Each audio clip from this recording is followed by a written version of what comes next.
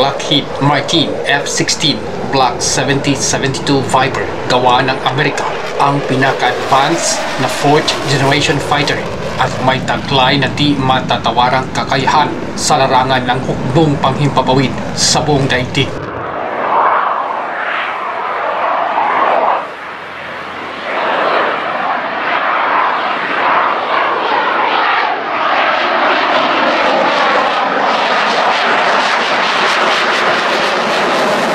Ito naman ang Saab JAS 39 Gripen ng Sweden ang natatanging lightweight 4th generation combat aircraft na maituturing na world class kung performance at operational economics ang pag-uusapan ang tinaguriang isa sa kinikilalang fighter aircrafts sa buong mundo. Ang dalawang ito ay magkaribal sa pinagpipiliang idadagdag na fighter jets ng hukbong panghimpapawid ng Pilipinas sa ilalim ng Horizon 2 modernization program ng bansa. Alin sa dalawa ang mas matindi? Bago natin ipagpatuloy ang kakayahan ng bawat jets na ito, huwag munang kaligtaan na mag-subscribe, like, and share ng channel na ito.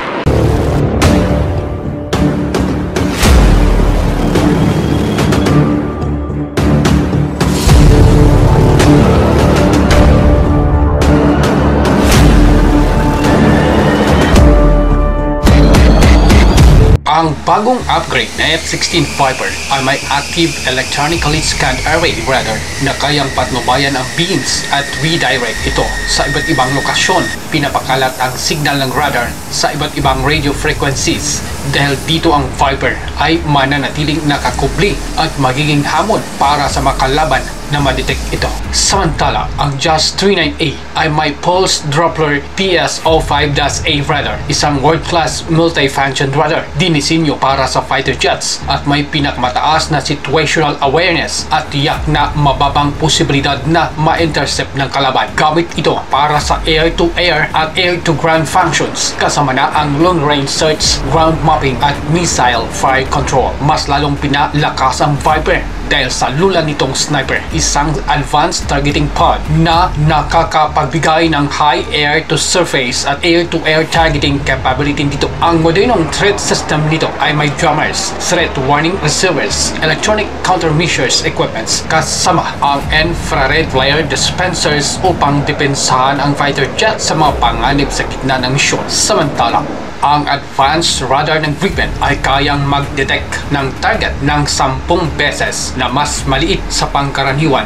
Dahil dito kaya nitong ilihis ang mga missiles sa mga mahirap na sitwasyon dahil sa world-class na 360 degree protection nito ay kayang magkubli ng Gripen sa mga radar ng kalaban. Kung armas naman ang pang-uusapan, ang Gripen ay compatible sa iba't ibang klase ng NATO missiles at bomba katulad ng Iris-T M9 Sidewinder, a Darter MBDA Meteor, M120 AMRAAM, MBDA Mika, EJM-65 Maverick, KPD-350, RBS-15F, GBU-12 Bayway 12, Mark J2, GBU-29 Small Diameter Bomb. Hindi rin pahuli ang Viper dahil katulad ng Gripen ay kaya ding armasan ng iba't ibang klase ng air-to-air missiles. Katulad ng M9 Sidewinder isang short-range air-to-air missiles Magic 2 at ASRAM short-range EAMs M7 isang medium-range semi-active radar homing air-to-air missile Skyflash at M120 medium-range AMs kaya din nitong suportahan ang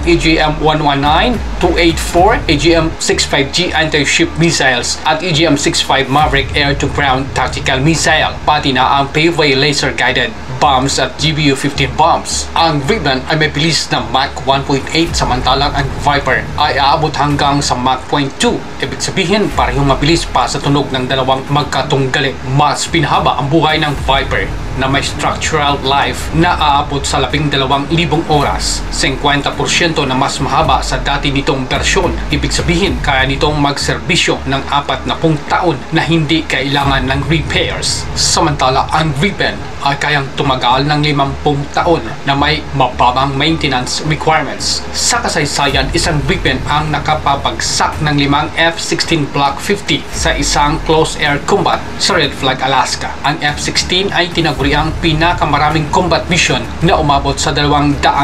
Sa kabilang dako, unang nanligaw ang Amerika at inalok ang Pilipinas na bumili ng isang dosenang F-16 Vipers kasama ang armament package sa halagang 2.43 billion dolyar. Talaga namang napakamahal kaya tinanggihan ito ng Defense Secretary Delphin Lorenzana. Gayon paman, hindi kasama sa halagang ito ang paghatid ng AGM-84L1 Harpoon Block 2 anti-ship missiles.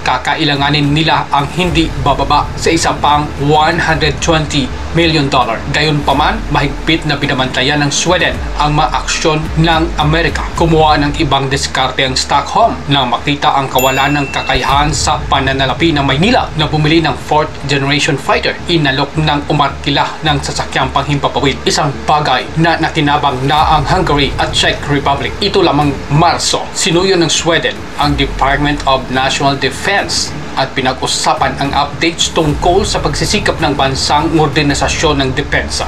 Pangunahing prioridad nito ang pagtingin ang kakayahan ng bansang pantayan ang karagatan at kalangitang nasasakupan. Nagpatuloy ng paniligaw ang Sweden sa Europe. Ang Pangulo ng Pilipinas na si Bongbong Marcos Jr. ay inanyayahan sa Brussels ng punong ministro ng Sweden. Gamit ang European Union Summit, nagsagawa ng closed-door meeting sina Prestarson at Marcos. Sinasabi ng mga malapit sa dalawa na ang pangunahing paksa ay ang pagpapaupa ng mga Gripen fighters para sa mga pangangailangan ng Pilipinas. Nakahanda umano ang Sweden na mag-alok ng dressed aircraft sa Pilipinas or ganap ng armado. Dito may kalamangan din ang Gripen sa American F-16. Masasabing ang pinakamahusay na long-range mutual air-to-air missiles pati na rin ang RBS-15 Mark III anti-ship missiles ay kasama sa package para sa Pilipinas.